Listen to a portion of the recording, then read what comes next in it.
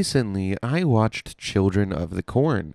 This is a film from 2023, however, it first premiered at a film festival in 2020. The film follows basically the uprising of the children in the Children of the Corn. If you know anything about the original, basically a couple of people stumble upon a dead body of a young boy and they wander into a town full of nothing but children. This movie is more about how those children took control of that town and the events that happened just prior. Overall, the movie was pretty fucking boring. I'm not gonna lie to you. There was a really good acting job done by the young girl who leads the the children, but overall, it was just a schlocky piece of shit.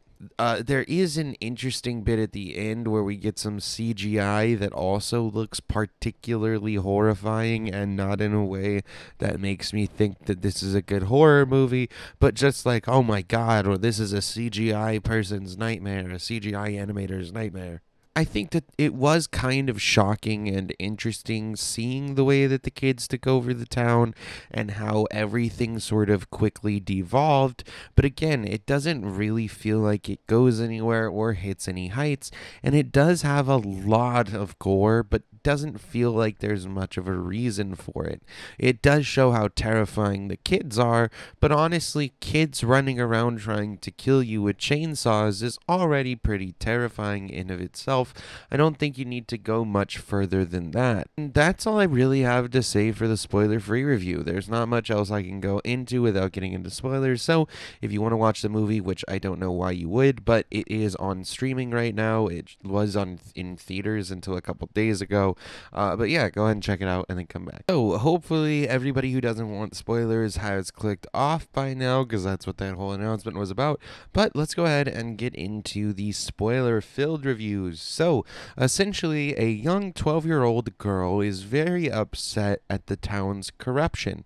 Then what happens is she starts to recruit young kids in order to take out the corrupt adults by kidnapping them, tying them up, burying them alive, gouging their eyes out. There's all sorts of fucking crazy shit that happens here, but again, it all feels somewhat spaced apart at the beginning, and then when we get to the actual horror part of it, it's more just a gore fest rather than any actually thrilling or horrifying imagery. We do have this interesting plot where basically an older high schooler uh, and her brother are in the town. Her brother ends up getting kind of mind been mind fucked by the little 12 year old girl and he joins her side.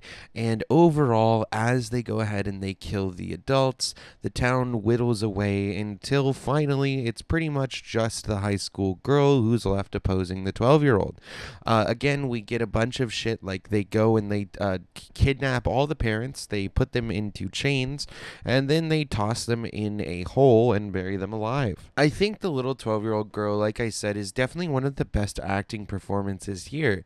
She did a really good job of seeming really threatening, and on top of that, seemed very commanding overall. And so that made me really understand hey, this kid really can command some folks. Especially when we get this whole trial scene. Basically, the older high school girl wants the uh, little girl to have a trial for the adults, and then the little girl has the trial without the, the high schooler there and just deems them all guilty. And that's when we kind of get this whole cascade effect of killing all the adults one of the worst bits is at the end we have this whole thing where we have he who walks the the monster of the corn and it's literally just a corn monster it's very hard to look at it doesn't look good in any way, shape, or form. It makes me want to gouge my eyes out personally. And overall, we get the girl, uh, the high school girl, as the young kids try to kill her. She devises a plan in order to blow up the entire cornfield. So there's this car that's leaking gas. She kind of drives it through. She had gas all over her. Don't know how she didn't catch on fire, but you know, it is what it is. So basically, she destroys the entire cornfield, also taking out the monster of the corn. And then at the end of all that, the little girl walks into the cornfield in order to die alongside her now dead fantasy. And I think it had some interesting bits about, you know, what it means to be a child, what it means to have to be subservient to adults that lead you in wrong ways or bad ways a lot of the time. However, none of that is really explored. It's all traded in for a bunch of shock, horror, gore type shit. And honestly, it just leaves me, again, pretty fucking bored. And also, it takes, you know, an hour and a half to describe everything I just described, which felt unnecessary. This could have been a 45 minute short and it wouldn't have made any type of difference. Now, I do want to say this is probably more of what Stephen King's original, like, draft script for uh, Children of the Corn was. Like, I guess Stephen King wanted, or he wrote the original 1984 uh, version first, and then his script was tossed to the side in turn for a more violent and graphic script. Uh, however, his script talked more about the uprising of the kids and all that other stuff. So this is definitely more along the lines of what he would have done, but it's definitely not good. All right. Have you guys seen this film? Uh, did you guys have any thoughts that you wanted to leave in the comments below? Because definitely let us know. Uh, let us know if there's anything we got wrong, we got right. Other than that, you can follow us on Twitter and Instagram. That'll pop up during the outro. And you can follow us on all of our other socials down in the description below. All right, I'll see you on the next video.